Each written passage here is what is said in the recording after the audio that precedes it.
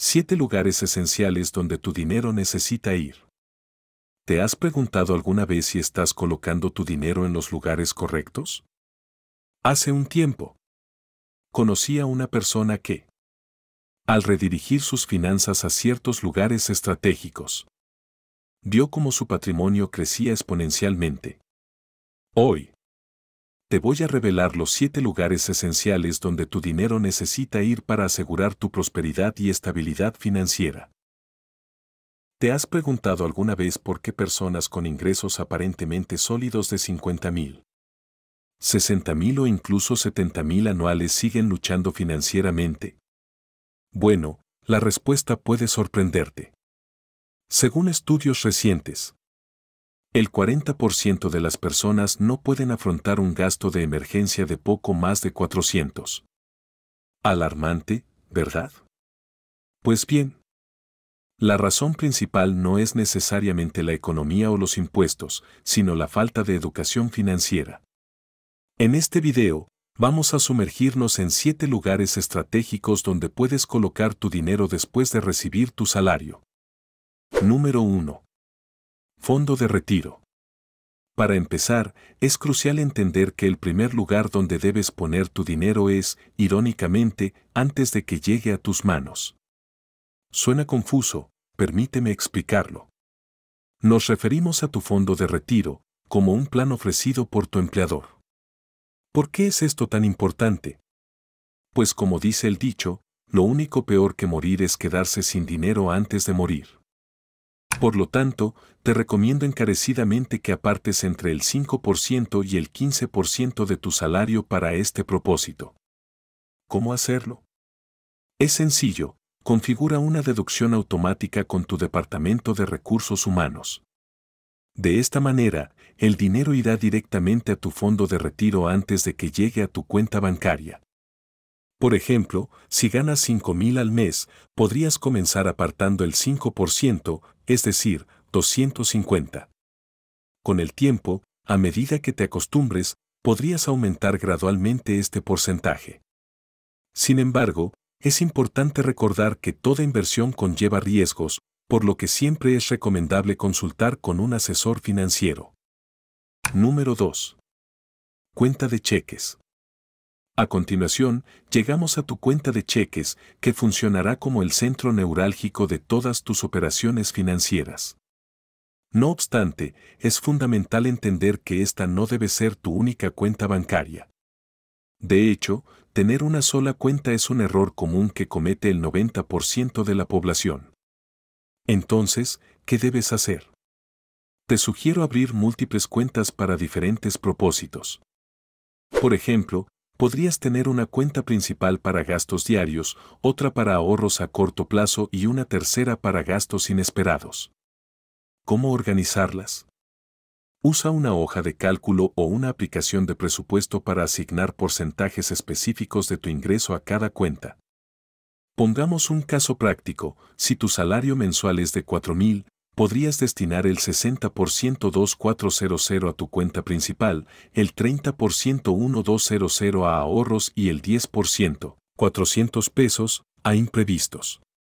Configura transferencias automáticas en tu banca en línea para que este proceso sea automático cada mes. Número 3. Necesidades básicas. Una vez que has asegurado tu futuro y organizado tus cuentas, es momento de ocuparte de tus necesidades básicas. Pero, ¿qué consideramos como básico? Estamos hablando de los gastos indispensables para mantenerte con vida y fuera de las calles, comida, vivienda, transporte, atención médica y servicios públicos.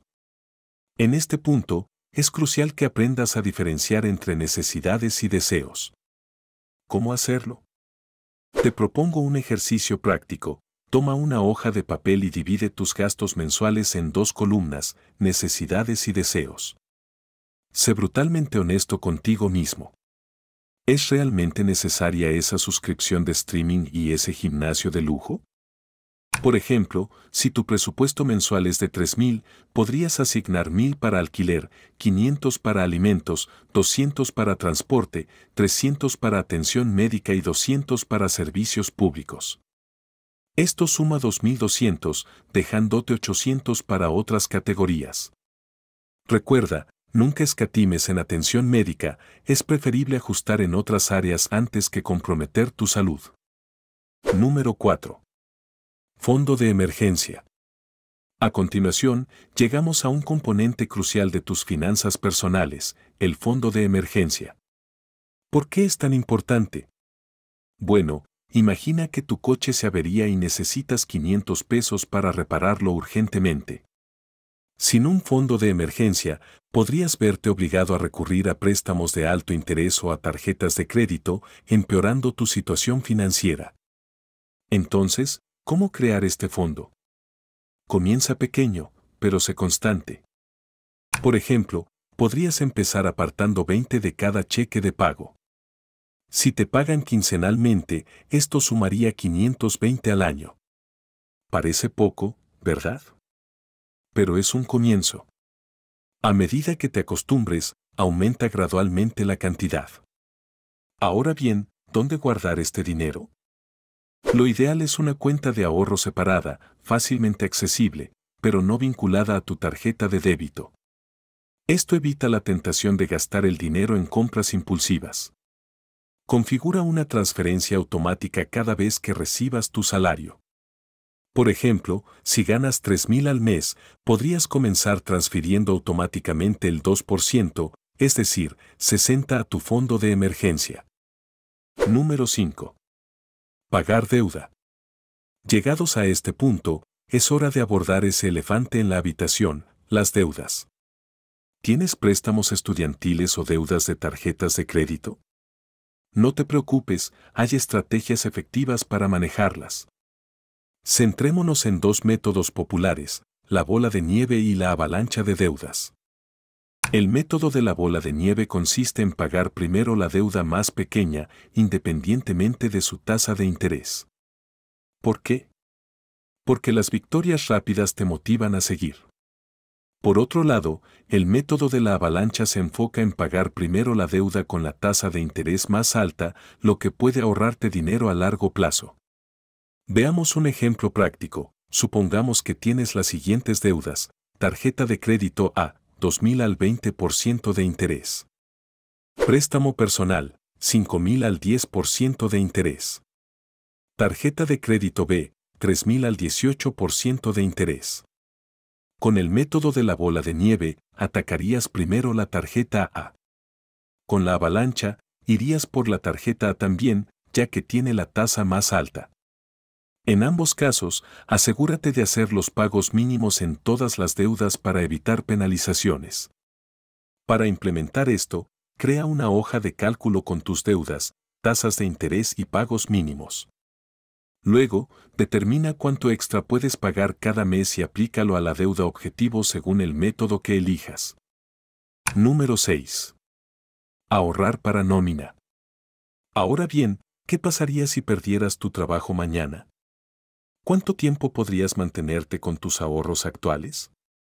Esta es la razón por la que necesitas ahorrar para la nómina. El objetivo es tener suficiente dinero guardado para cubrir de 4 a 8 meses de tus gastos. ¿Cómo comenzar? Calcula tus gastos mensuales totales. Incluye todo, desde el alquiler hasta tu suscripción de Netflix. Ahora bien, ¿qué pasaría si perdieras tu trabajo mañana? ¿Cuánto tiempo podrías mantenerte con tus ahorros actuales? Esta es la razón por la que necesitas ahorrar para la nómina. El objetivo es tener suficiente dinero guardado para cubrir de 4 a 8 meses de tus gastos. ¿Cómo comenzar? Calcula tus gastos mensuales totales. Incluye todo, desde el alquiler hasta tu suscripción de Netflix. Multiplica esa cantidad por el número de meses que quieres cubrir. Por ejemplo, si tus gastos mensuales son de 2.500 y quieres un colchón de 6 meses, tu objetivo sería 15.000. ¿Dónde guardar este dinero? Una cuenta de ahorros en línea de alto rendimiento o una cuenta del mercado monetario son excelentes opciones.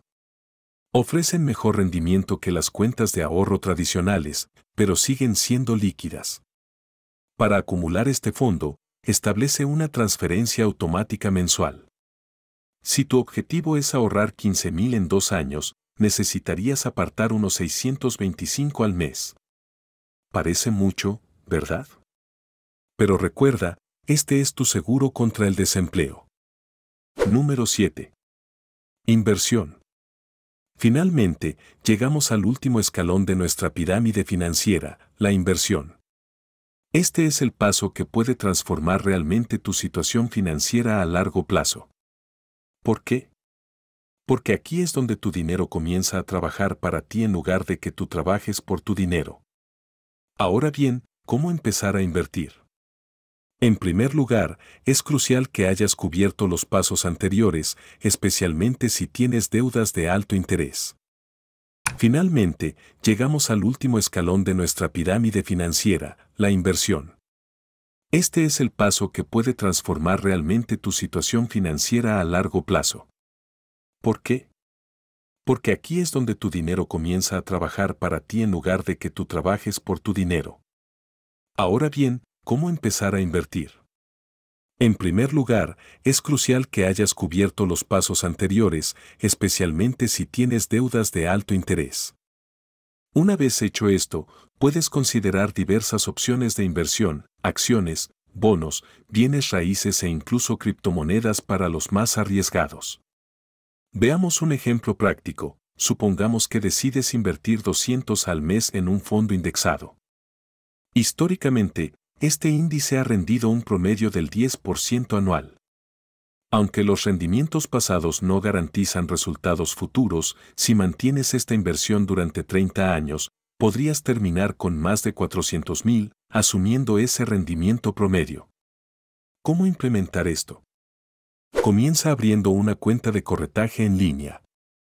Muchas plataformas populares como Vanguard, Fidelity o Charles Schwab ofrecen fondos indexados con bajas comisiones. Configura una inversión automática mensual. De esta manera, invertirás de forma consistente sin tener que pensarlo cada mes. Estos siete pasos forman un plan integral para gestionar tus finanzas personales, desde asegurar tu futuro con un fondo de retiro hasta hacer crecer tu riqueza a través de inversiones. Cada paso es crucial en tu viaje hacia la estabilidad financiera. Ahora bien, ¿por qué algunas personas que ganan 80 mil al año siguen siendo pobres? La respuesta es simple, no siguen estos pasos. No se pagan a sí mismos primero, no diferencian entre necesidades y deseos, y no hacen que su dinero trabaje para ellos. Recuerda, la clave está en la consistencia y la automatización. Configura transferencias automáticas, usa aplicaciones de presupuesto y revisa regularmente tu progreso. Y si tus ingresos actuales no son suficientes, considera buscar formas de aumentar tus ingresos, ya sea negociando un aumento, cambiando de trabajo o iniciando un negocio paralelo. En última instancia, la libertad financiera no se trata solo de cuánto ganas, sino de cómo manejas lo que ganas.